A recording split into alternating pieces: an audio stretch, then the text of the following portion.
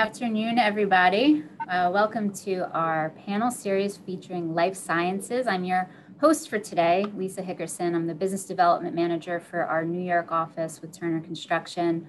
Uh, I just want to thank you all for joining us today. So today we have a, an hour packed. We have a lot of great content to go through. Um, if we could talk for hours and hours, I'm sure we could. But it's no secret that there's been a tremendous focus and attention on life sciences here in New York and across the country that has sparked a tremendous amount of discussion.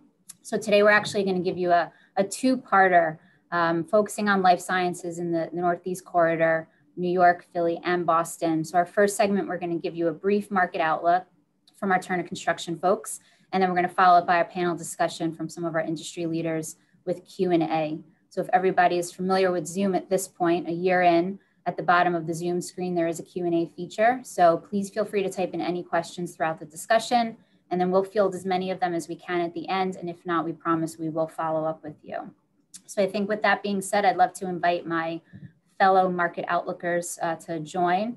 So today we have Greg Smith, our VP and Precon Manager from our Turner Philly office. He's gonna give us a national overview. We have George Gaughan, our VP of Development from our Boston office. Dave Kaminski from Philly, our VP and GM in our Philly office, and I will be rounding it out with the New York market outlook. So with that, Greg, take it away. Thank you. Here is the national market outlook in three minutes or less. So here's the US dollar flowing across Turner City in 2020. And 2020 was obviously a strange year for that US dollar where we've actually posted a decrease in our Turner Building Cost Index, uh, the first one in about 10 years. So let's look at that one construction dollar a little more closely. Uh, material, overhead, and profit in labor. That's what makes up a total construction price. And historically, we see that moving across the horizon at an escalation rate of about four to 5%, one and a quarter point per quarter. That's what we typically see historically. But I want to dig into a little bit of the components that make up that dollar. So if labor were to increase $1 across time and overhead and profit and material stayed flat, we would experience a 1% increase in the construction price.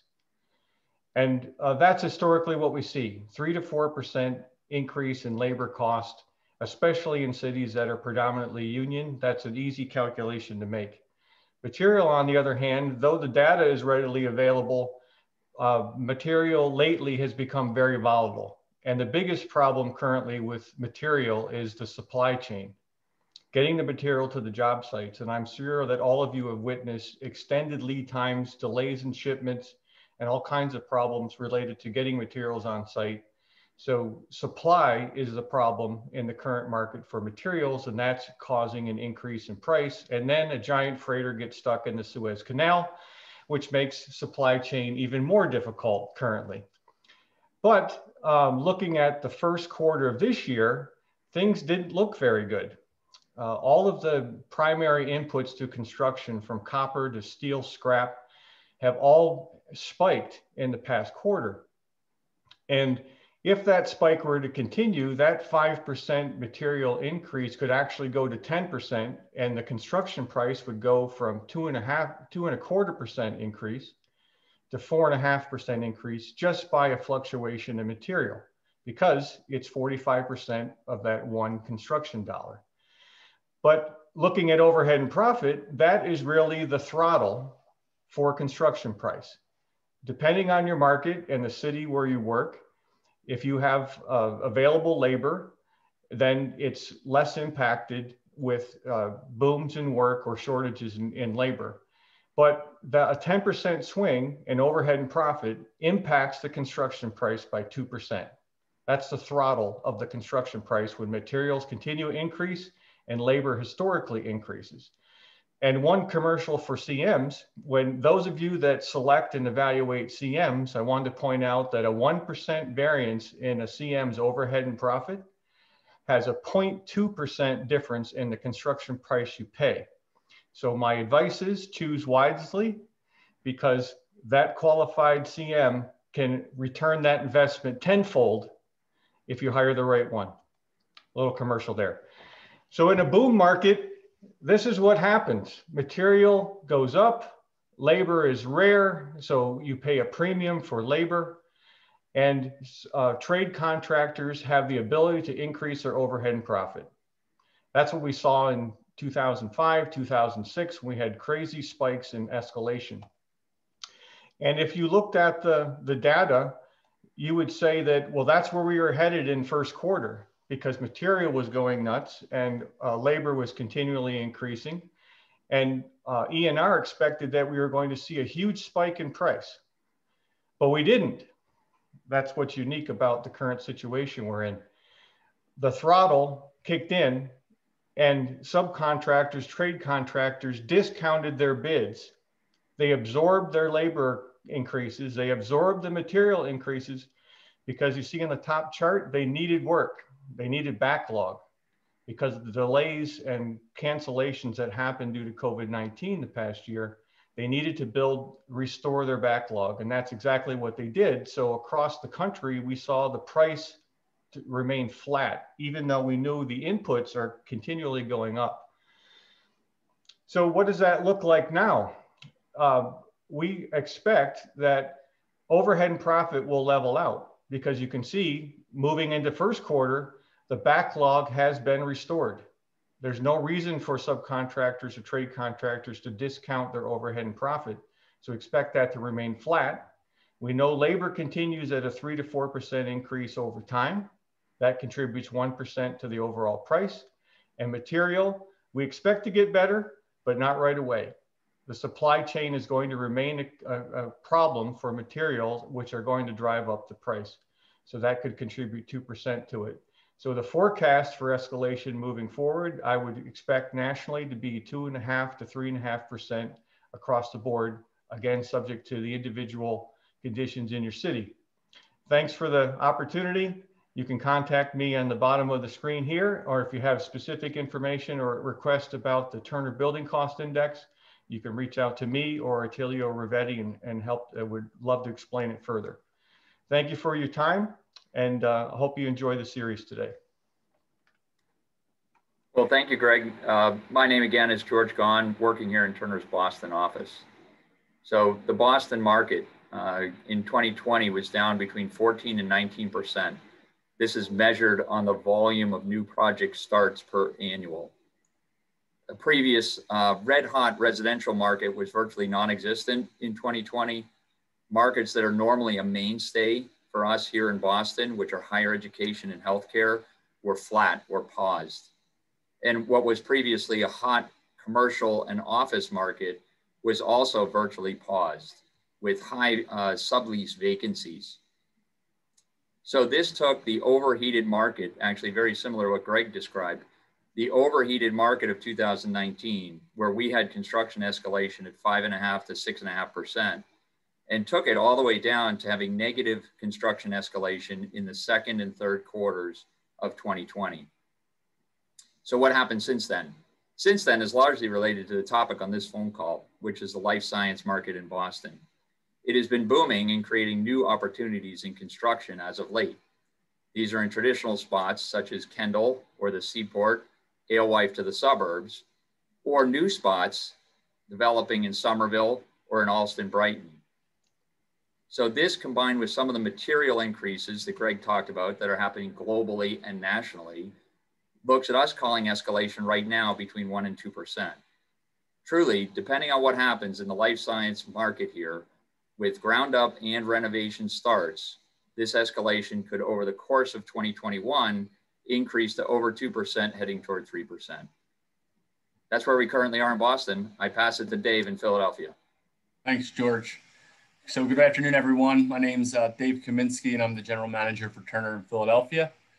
So when you look at the Philadelphia market, we were on a nice steady uphill climb in regards to construction growth from 2016 to 2019 with uh, commercial, residential, healthcare, and higher ed really leading the way in those sectors. And there was no reason to think that uh, 2020 would be any different. So Philadelphia also had the number one jump nationally of any city in college graduate retention rates during that time. So there was many more college students graduating in the city and staying in the city to work, which is what you want to see in a growing city. Um, however, we all know what happened in 2020. And as a result, the Philadelphia market also felt that same impact as our market was down roughly 15% last year. So for Philadelphia, for, for Philadelphia, you can look at 2020, and I like to look at it in three different categories, kind of like a traffic light. You got the red light or the market segments that pretty much stopped were commercial office TI, retail, and entertainment. The yellow light the middle light or uh, the segments that slowed down a little bit that traditionally were hot were higher ed, healthcare, and residential. And then finally, the green light or the segments that continued to move forward and mo maintain momentum in 2020. And as we see now in 2021, were manufacturing and life sciences, especially when you start to see the clusters forming in Philadelphia on the life science sector, you know, in University U City Square, the Navy Yard, and uh, Discovery Labs. So looking forward in 2021, we've already seen a positive bounce from 2020 and expect the market to recover roughly 12 to 15% and continue to follow the uphill trend uh, we're seeing in AIA billings index. Now, when you look at labor escalation and productivity in Philadelphia, the key lies in concrete, curtain wall, and MEP trades in a, in a hot market like it was in 2019, and hopefully where we, where we look to be again at the end of 2021, this is where we see most of the volatility and the price escalation in the submarket. So we believe it should remain relatively flat, you know, the, these next couple quarters in 2021, but we're going to see start to see a little local escalation start increasing around 2% by 2022. So that's Philly and in two minutes. I'll hand it back over to uh, Lisa for New York.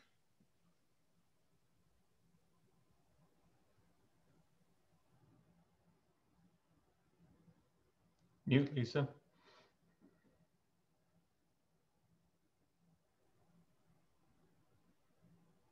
Lisa, you're on mute.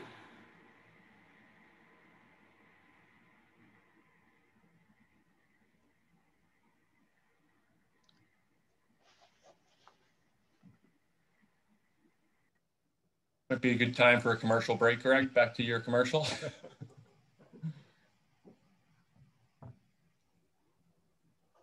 the other thing we're learning in 2020 is technology use, obviously.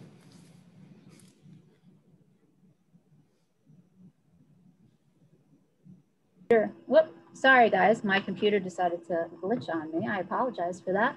But we rebound quick here in New York, just like the market in 2021. So there you go. Everything's going to go well. So I'm going to do the SANS notes. I'm at my, my co-host desk here. Um, so in 2020, uh, we did see the market drop dramatically here in New York. It was about a 30% drop, which was um, a big hit. Our largest sectors here with commercial, healthcare, and higher ed almost coming to a complete freeze. So realistically, when we're looking into 2021, we are very hopeful that those markets are going to start rebounding with the release of some public funds, while the healthcare and the higher ed markets are starting to generate some of their capital plans as they go into the summer after they made it through the downturn of the first COVID pandemic semesters in school. So it's really important to, you know, keep in mind that you know, we are seeing an increase in the AIA billings in the Northeast, which is great. Um, we're starting to feel it now as we go into the second quarter of 2021. Um, the life sciences market, similar to this, which again, why we're having the discussion, has been booming for quite some time in New York. It has, it has put a, a huge spotlight on it in 2020, and now even more so in 2021. And there's millions of square feet coming on board between Deerfield and the 57th Street project, Inno Labs with the new Alexandria Tower. There's a tremendous amount of opportunity here. We're seeing a lot of commercial um, interest in conversions to life sciences with the commercial space being converted, big influx of industrial, huge input with the uh, aviation market. So we're seeing a, a, big increase. We're hoping that 2021 is going to at least see a 20% rebound in the market, um, which is very hopeful. And then just on the, the labor front, you know, with the trades and what we're seeing, we're in line with what Greg is saying. We think it'll be flat escalation through the end of the year, but expecting a two to 3% increase um, in escalation, you know, starting at the end of 2021 going into 22. Um, trade contractors are still hungry for that backlog. if you're putting a new building in, I would recommend it here in New York because the excavation and the concrete trades are, are very, very hungry. So with that being said, that wraps up the market outlook. Um, so I want to thank my, my fellow market outlookers here. Um, if you guys uh, will then join me back at Q&A, um, but I'd love to invite the panelists to join us on screen. Excellent. So for our panel discussion today, we have a, a, sampling across the, the Northeast here. I'd like to welcome Chris Czenszak. He's the principal of Jacobs, part of their laboratory planning group. Um, Bill Kane, president, East Coast and UK markets for Biomed Realty.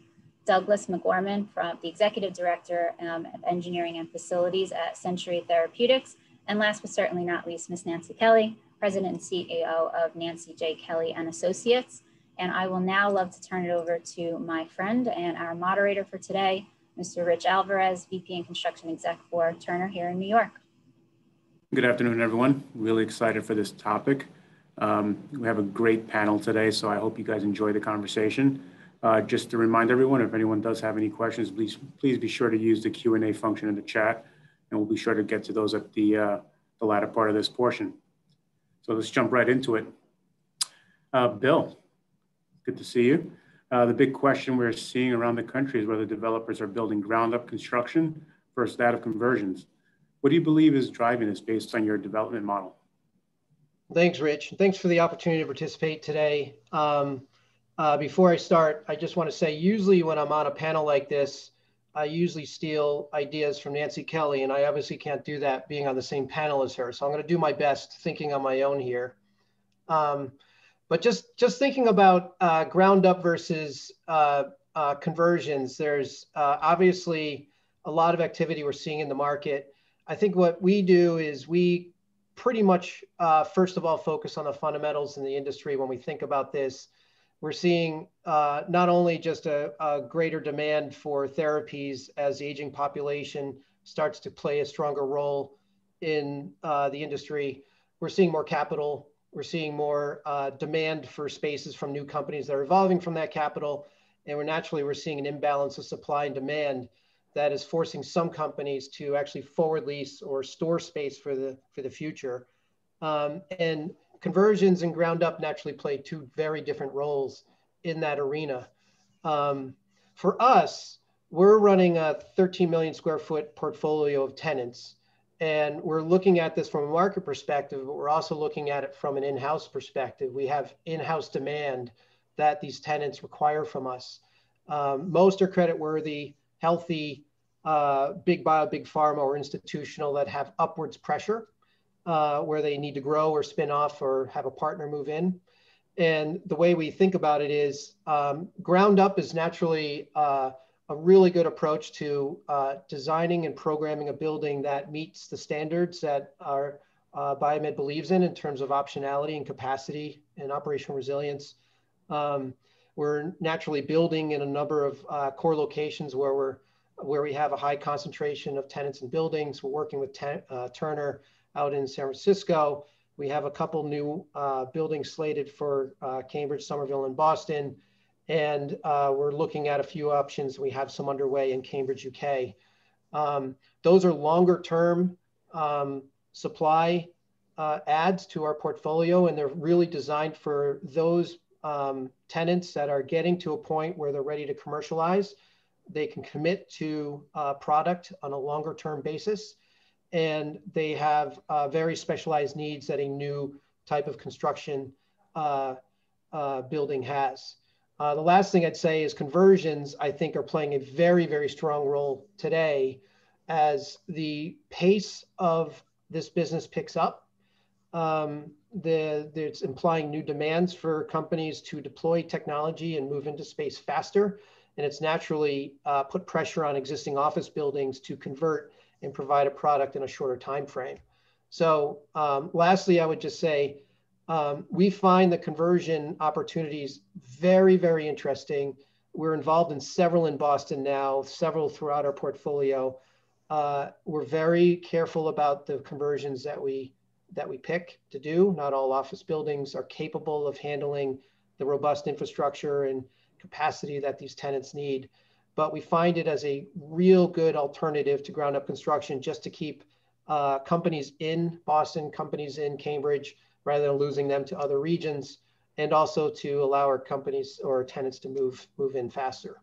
So it's kind of like we're, we're looking at it through both lens, and we're, we're, we're very supportive of both both models. Awesome, awesome. And following up on that concept of new versus conversion, sustainability and reduction of our carbon footprint is taking center stage in, in many market segments. Nancy, how are you seeing the impact in the life science sector and what can we expect to see from this? Yeah, so obviously these buildings require a lot of energy um, to, you know, because of the mechanical systems, the investment in them, and to run and operate. Uh, so they really do um, require special attention to sustainability and how we're going to reduce costs. Um, this is not only around energy consumption, but it's also about air quality, biodiversity, uh, using data to measure what's going on in a building and to improve, you know, employee experience. In energy conservation, I think you're going to see um, an increasing emphasis on cogeneration, renewable forms of energy, high performance facades, and uh, low embodied carbon construction, um, especially for ground up uh, developments. But I also think it's really important to remember that sustainability isn't just about energy. Um, you know, I've got these five pillars of wellness that I use to talk about sustainability. The first is economic growth, um, the economic impact and job creation that a project is going to have. Obviously, the environmental sustainability that I just talked about is extremely important. Um, health and wellness of the people that live and work inside those buildings, uh, social equity and diversity and finally uh, the innovation community that's created. And you know when you're thinking about conversion versus ground up whether you have a, a campus like setting where you have more than one building or whether you have a single building that's being converted you need to pay attention to creating an innovation community.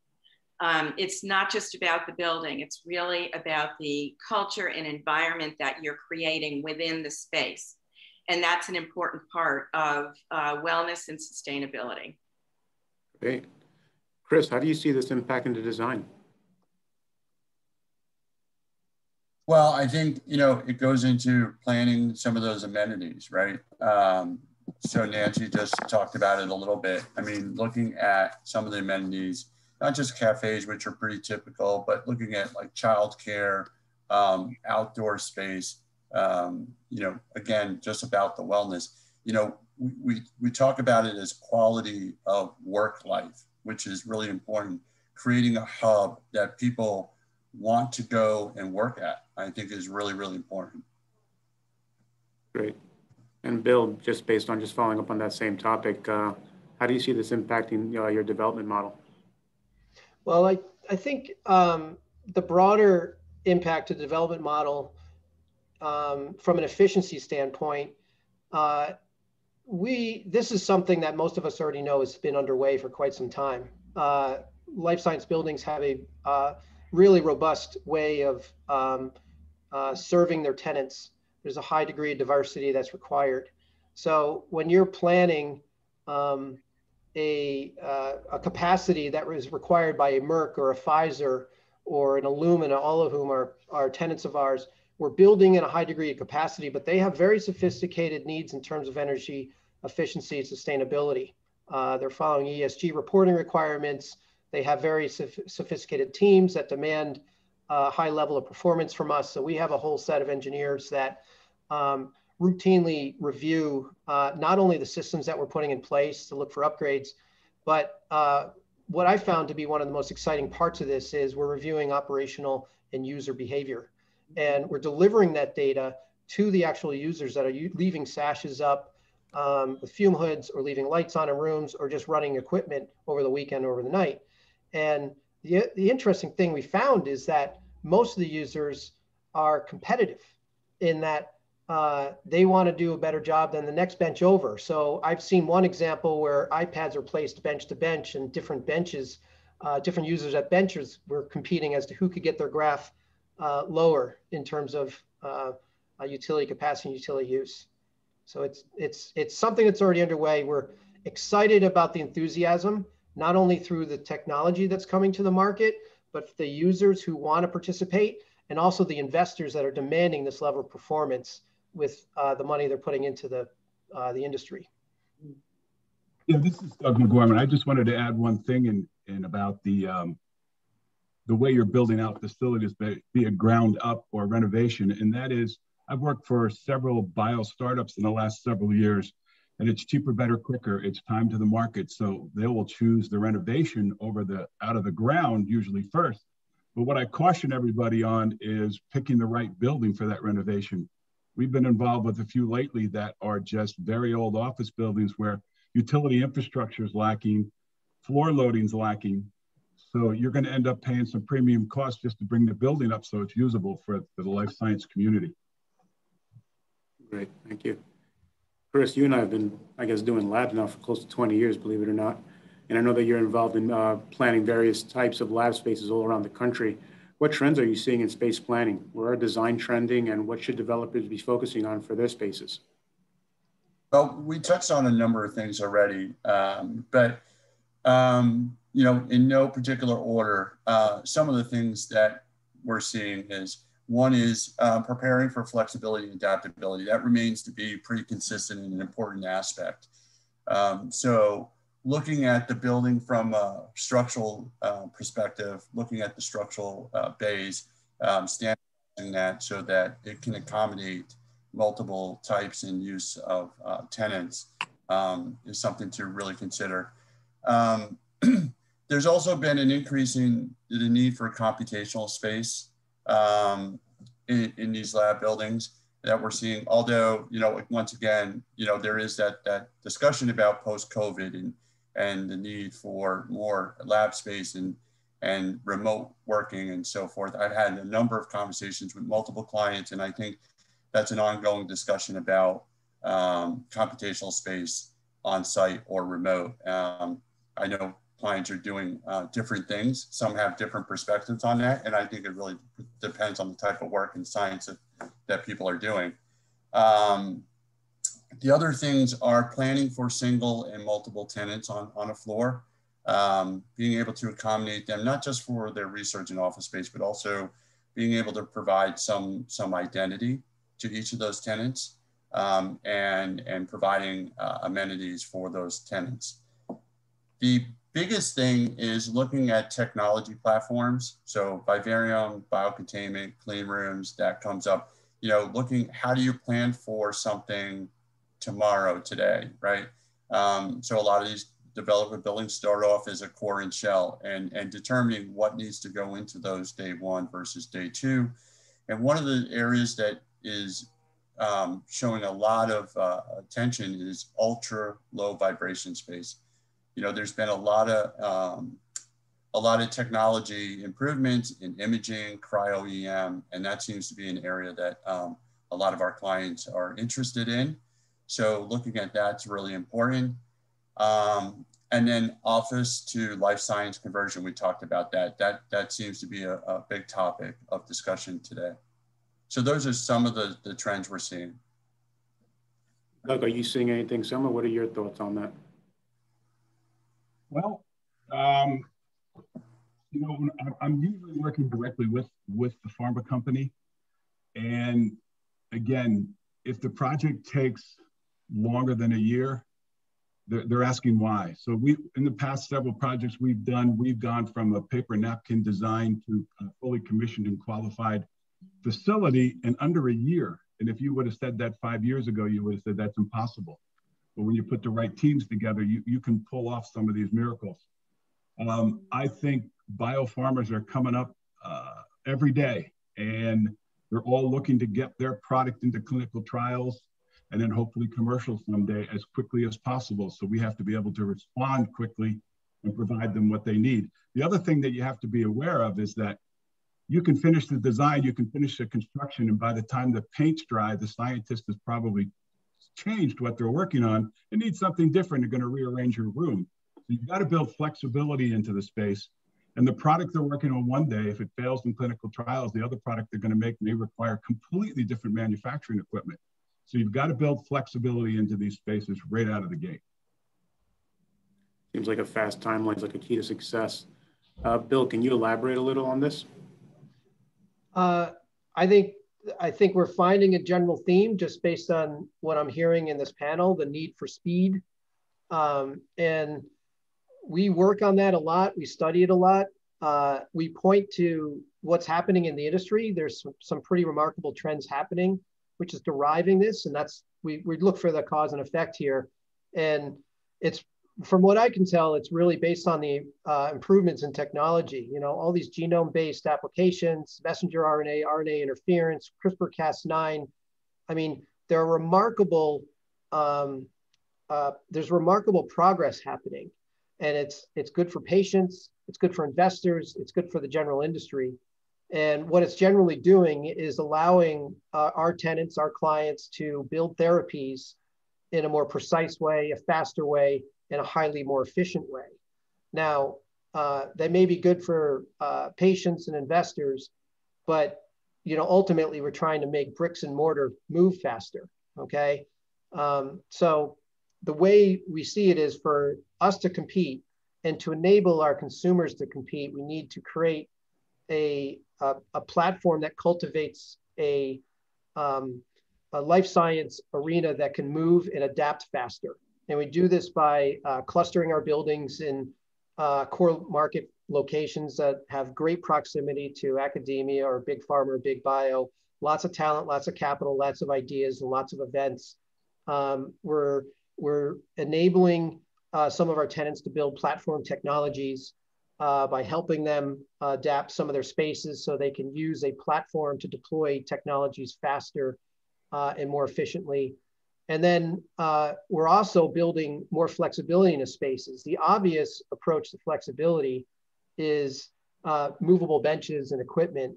The not so obvious part of flexibility is building infrastructure and uh, mechanical systems that can toggle from one use to the other without retrofitting uh, the entire penthouse or moving shafts or, or core parts of the building. Um, and then the other not so obvious approach we do is we offer um, other spaces. So we're in the business of providing other spaces for our tenants. I mentioned that in-house demand. And ultimately, if we're balancing flexible spaces, optionality in the buildings and alternatives for them to move into, we're allowing them to move quicker. And the, the last thing I'd say is when we look at the cost of real estate, you know, historically it's been like ranked seventh or eighth in the cost of operating a lab facility. So paying rent or paying a premium to be in a core market is not as much of an impact to them when you compare to the benefits of uh, being in, an, in, a, in an environment that allows you to perform faster, uh, collaborate with your peers, borrow equipment and people, and just optimize in a, in a networked way uh, uh the ideal way to, to get a targeted therapy to a data point that, that's financeable or, or impactful for, for your approvals. So I think this is one of the biggest things that we're working on. It's one of the most important things that we should all be focused on is how, how to, in order to maintain our, our, our positions in New York and Philly and Boston and all the other markets. It's, it's, we have to maintain that adaptability uh, as the, as the industry moves uh, so quickly. Yes. And, and I would that, that um, you know, all of that discussion was really around companies that are developing therapeutics. But a large portion of the life science industry today um, is made up of uh, different kinds of companies that are being driven by technological change. So, for example, instead of just reading a genome today, scientists are writing a genome. And what this is opening up new markets for biology in agriculture, new materials, energy.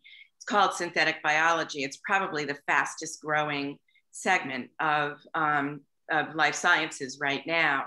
And then with cell and gene therapy, you've seen, you know, huge emphasis on biomanufacturing because those facilities need to be close by um, to where the patients are, uh, you know, being treated. Um, and so that requires a whole new, you know, type of facility. and proximity. Well, and we'll stay on the topic of forecast and uh, based on what we heard from our from our outlook folks in the beginning, Nancy, um, we saw that venture capital spending in the U.S. related to life science shot up 30 billion in 2020, which is over 40 percent that from 2019. Do you think this is an anomaly, or will we continue to see investments being made in this sector? No, I don't think it's an anomaly. I think that um, we have entered into the century of biology. And just as chemistry drove the, the 19th century and physics drove the 20th century, biology is driving the 21st century. Um, and we're going to continue to see investment in this area. 75% of that venture capital investment that you just talked about went to Boston, California, and New York, by the way. Um, and those markets are really growing if you look at where companies are talking about putting their dollars, R&D prioritization is still um, a major focus, as is collaboration with pharma and other companies. Um, and the key factors that are driving this haven't changed, they've only accelerated. And that is previous biotech investments have proved extremely successful. Um, as Bill said, the uh, you know we've got an aging population with chronic healthcare needs that requires new types of therapeutics. Um, you've got innovations in technology, as I just talked about. Uh, and all of this is, is really driving the market forward right now, especially for diagnostics, treatments, uh, and therapies in COVID 19 and, and cell and gene therapy. And staying on that topic, Doug, what do you see for the future of biopharma? Uh, I hate to keep going back to speed, but I think the future of biopharma is when, when bio uh, biology type products started coming out of the, the pharmaceutical companies, the therapy costs at the end of the day were, were really high. So a lot of the products that I'm starting to see go into clinical trials are going to reduce that cost of that therapy down significantly. But I think uh, biopharma is going to keep evolving. I mean, it like like Nancy said, it is the it's here. It's the wave of the future. It's just going to continue to grow. So we have to be able to build out space quickly for them to uh, step up and then start to do their work. Because typically, uh, a biopharma startup is usually started off by a scientist. They know nothing about the facility, how to build it, how to run it. Uh, so that's where we have to step in and and help them out and get them to the marketplace quicker. Believe it or not, we've gone pretty far into this. I, Um, we wanted to leave some time for Q&A. So before we do that, I'd love to get your final thoughts uh, on what we will see next in this industry sector. Uh, if we can begin with Chris, please. So repeat that question, Rich. I, I, you came in. Sure. Your, your final thoughts on what we will see next in the in this uh, industry sector. Well, I think you know, as Nancy said, I think synthetic biology is is going to increase. I think we're going to see a lot of that. Um, you know, we are seeing from our side, we're seeing a lot of movement in New York City for life science projects. Um, so as, as our firm has been involved in, in many, many projects, both here in um, New York as well as on the West Coast. Um, once again, I think you know, technology is driving a lot of these these projects. Um, you know, technology platforms. Again, imaging is is something that um, we're seeing on every single project, um, preparing for that. And the the requirement for some of this imaging um, modalities is is extremely stringent. So there's a lot of design and structure and and and uh, analytics going into that type of space. So it's highly specialized space. Thank you. Uh, Bill? So I guess what I see today is um, one year into a pandemic that has exposed the entire world to the inner workings of this industry and demonstrated how it can uh, treat our families, improve our well-being, maybe even save our global economy. So I see a higher level of awareness and appreciation for the industry. Science is now cool, I've heard some people say. Even the biology part, Nancy, that is now the century theme. Um, I see uh, more capital going into it as a result of that, uh, more capital allocations into the industry itself. Um, I see the technologies that everybody talked about improving the efficiency and the speed. And I see more people gravitating to it, more companies, more vendors, more, more partners. Um, so I just see, um, and I also see personally a, a, greater emphasis on clustering for all those reasons to move more efficiently and, and work together, find arenas where you can work together to optimize the resources and knowledge that you have to get from A to B.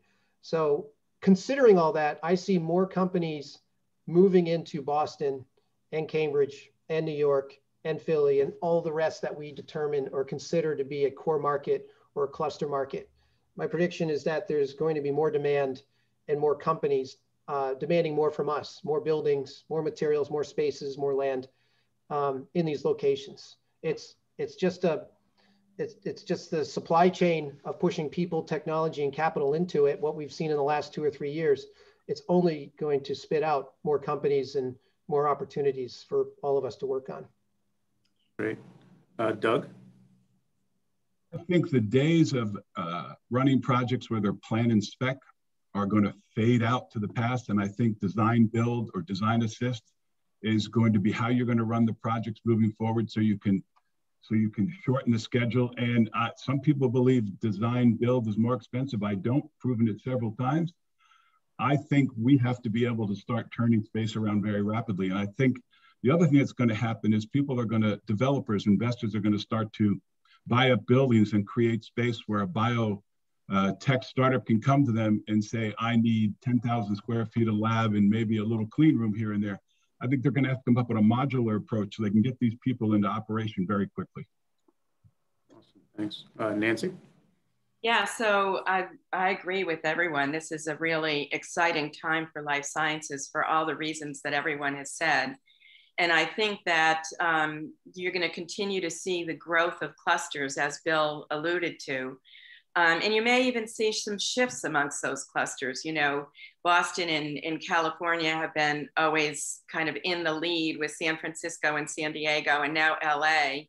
Um, but I think you're going to see New York, the greater New York metropolitan area, and New Jersey emerge as a powerhouse. And I would say though that combined market is the strongest and largest market in the country right now. It's also uh, the best kept secret. So um, we're changing that. I think that there are other exciting opportunities that are coming down the line with new federal investment.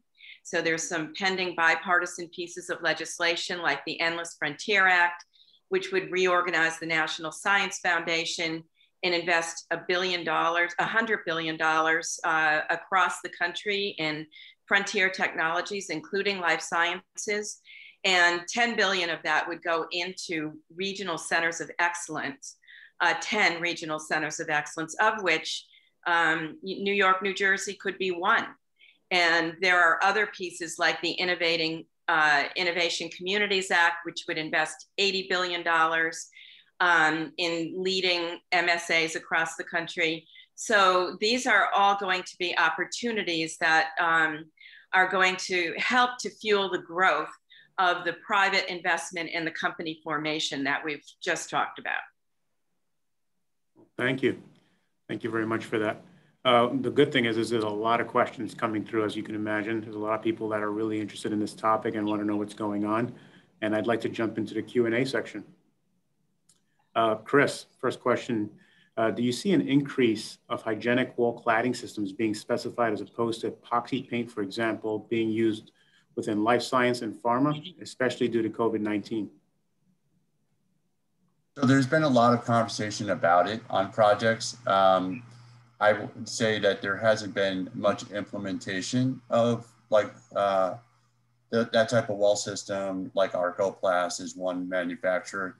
Um, but there's been a lot of conversation and particularly it has not been around the, the, the discussion about COVID.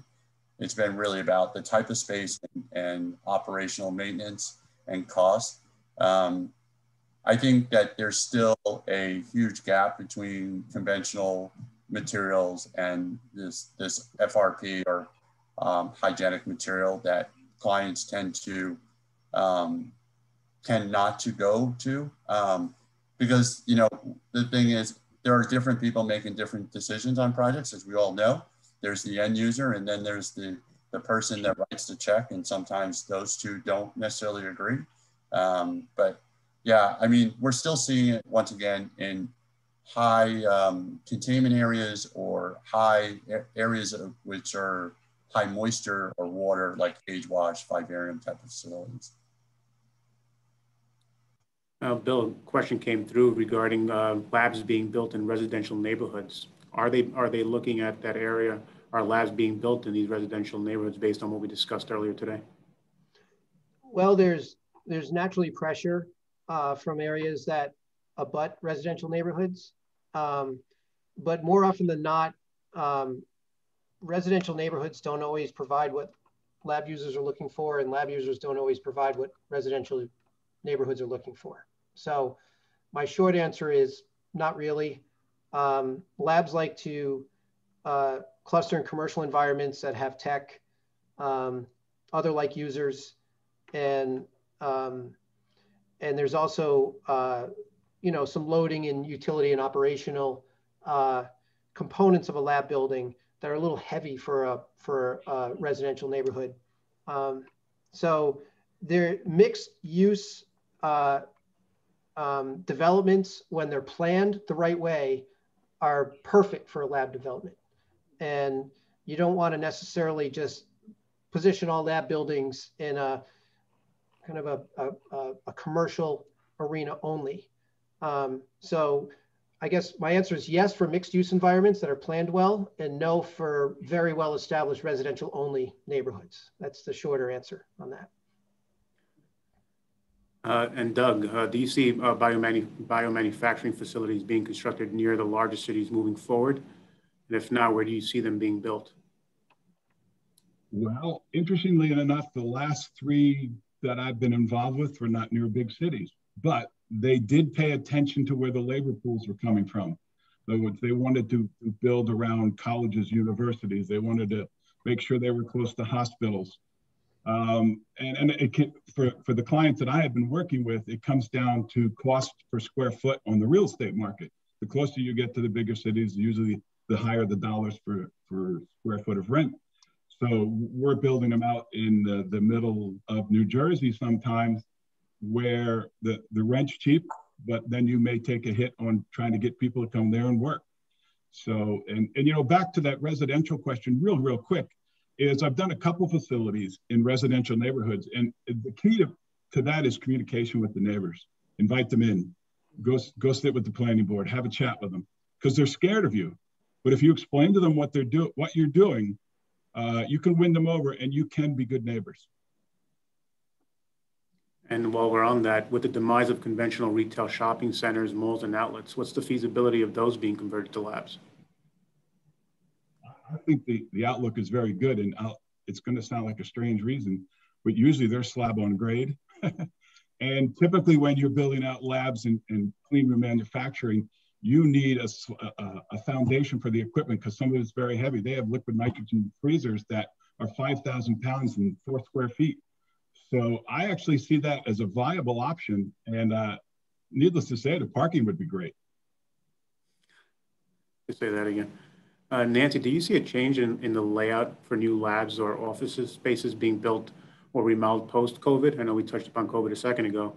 Did you see a reduction in headcount per square foot? And does this affect the cost per square foot? I think it really depends on the science that um, that companies are are doing. You know, I mean, Chris alluded to this when he was talking about the percentage of space allocated to labs versus computers. Um, increasingly, you know, it really does depend if you're doing a lot of work in silico on computer before you test it in lab in the laboratory, which happens in synthetic biology a lot. You know, I think that um, you probably will see a reduction in the number of employees per square foot. Um, and in, and people being more flexible in terms of timing, how their schedules are rotating, uh, things like that. Um, but remember that even in the midst of COVID, uh, labs needed to be up and running, and people, this was an essential industry, and people were coming to work. And so the incubators and laboratories that were operating in New York never closed. And in fact, most of those companies ended up growing, raising substantial amounts of funding and hiring during the pandemic. So um, I don't think traditional wisdom can be used to measure what's going to happen in the life science industry. Thank you. Uh, Chris, you touched upon uh, ultra low vibration a second ago. Uh, is this in specific floors or specific parts of the floor plate or across the board? Uh, also, what do you see as being ultra low?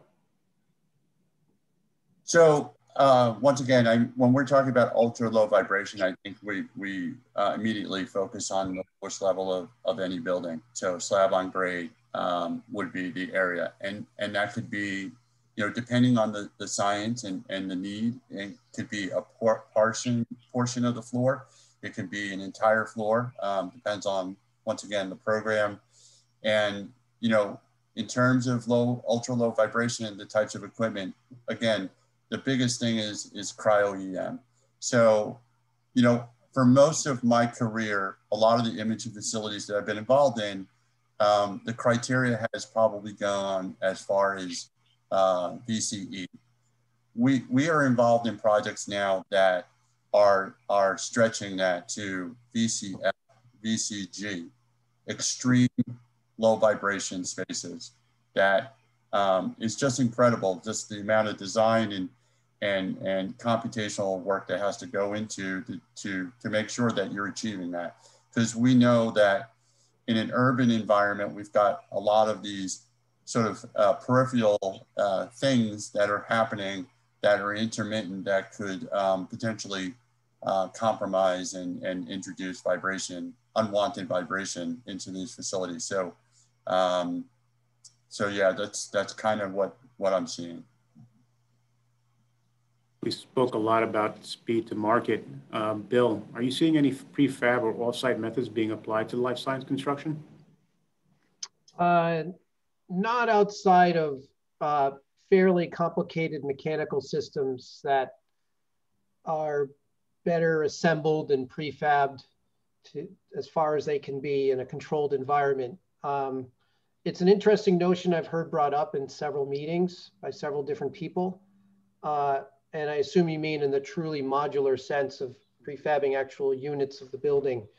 Um, I'm very curious about it um, as it, it could alleviate uh, speed or even uh, enable some temporary locations to be used when certain markets need it the most.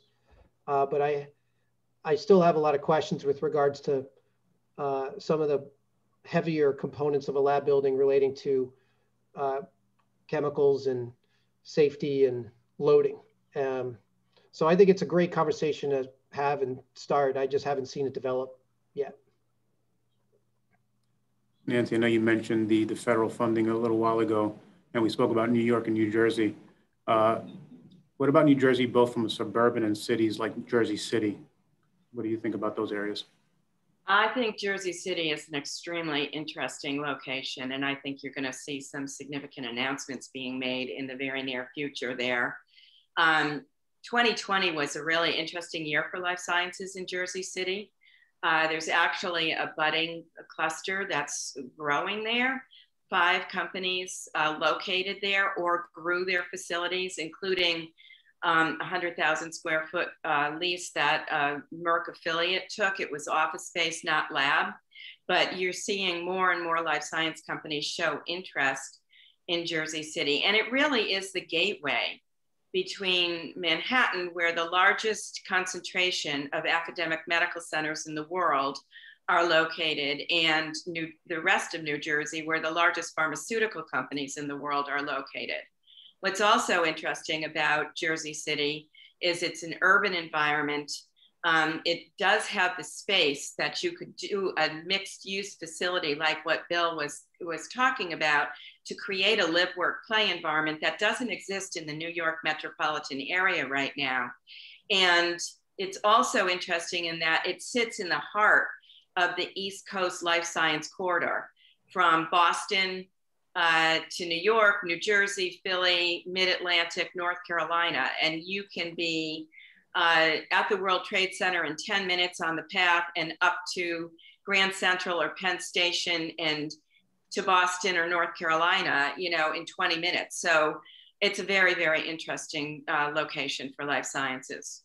Hey, Nancy, um, I think you mentioned before that there's some interesting things going on in Westchester County too, in New York.